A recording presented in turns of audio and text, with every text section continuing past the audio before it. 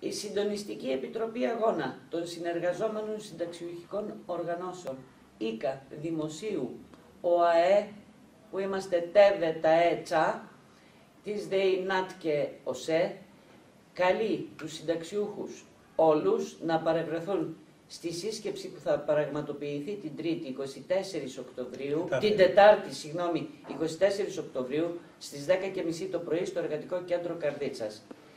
Οι συνταξιούχοι όλα αυτά τα μνημονιακά χρόνια δίνουν τη μάχη τους μέσα σε δύσκολες συνθήκες που διαμορφώνουν οι αντιλαϊκές, αντισυνταξιουχικές πολιτικές όλων των κυβερνήσεων και της σημερινής.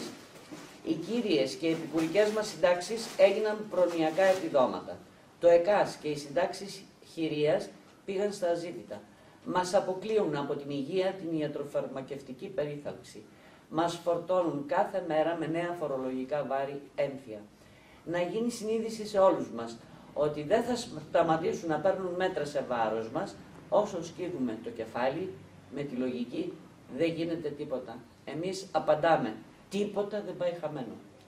Παλεύουμε όλα τα δικαιω... για όλα τα δικαιώματά μας, για τις σημερινές σύγχρονες ανάγκες μας. Απαιτούμε η κυβέρνηση να δώσει λύση στα δίκαια αιτήματά μας, χωρίς αγωγές, χωρίς αιτήσεις και προαπαιτούμενα. Και κάτι ακόμα, καλούμε όλους τους συνταξιούχους να πάρουν μέρος στο μαραθώνιο των αγωνιστικών κινητοποιήσεων σε όλη την Ελλάδα και να παραβρεθεί στις συγκεντρώσεις που θα γίνουν 13 Νοεμβρίου στη Θεσσαλονίκη και στις 15 Δεκεμβρίου στην Αθήνα. Χωρίς αγώνες δεν γίνεται τίποτα.